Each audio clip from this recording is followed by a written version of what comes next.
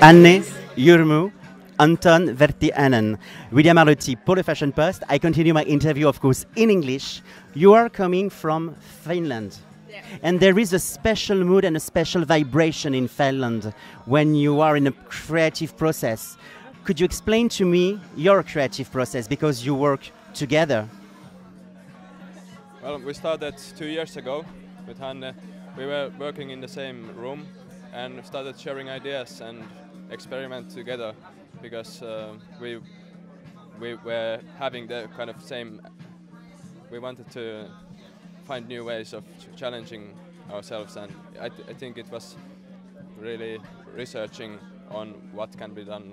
Your meeting was an evidence, in fact, because you, you were connected together. Uh, sorry. What was Your, your meeting was an Ah. evidence because Ah. the connection was so easy. You have the same feeling and vibration. Yeah. Yeah? Yeah. We've we've spent a lot of time together. we know each other well. That's great. That's great. so, what is the story of your collection? I have the feeling that everything is destroyed and there is this rebirth. It's my point of view, but what is the story? We um, we collected things in the environment that we lived, and like thrown away mat- thrown away materials and uh, str- uh, trash from from the backyard of a shop, and and wanted to like make them great again. Like we had, we saw the potential in them. They were like really nice fabrics probably broken clothes, whatever.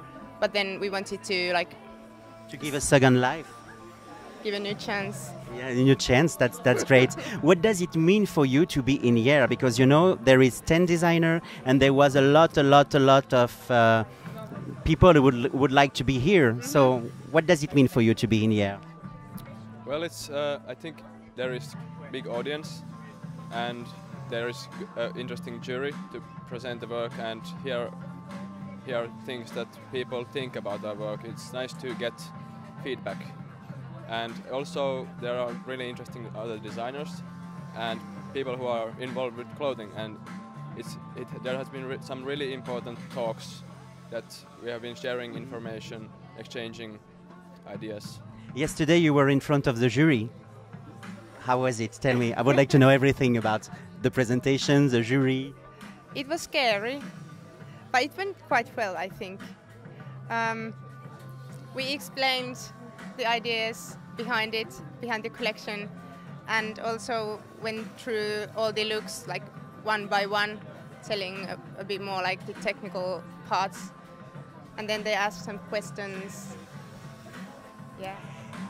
You give a second chance to fabrics to clothes. Givaudan create a dedicated fragrance for you. Mm-hmm. What is the story with the fragrance and the collection and the link? And how was the process with Givaudan? Well, we were thinking about making fragrances when we were uh, already working because there were some materials that we would use.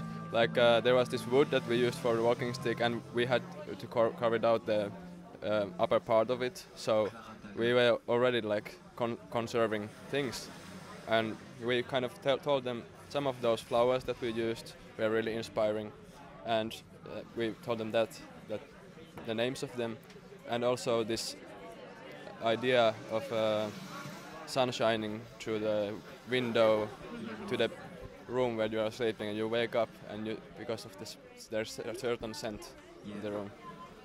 We We explained that. that. It's a, it's a meeting with different artists, so um, everything will be cool, nice, with this sensibility and nice energy. It was really nice to exchange with you and to discover you.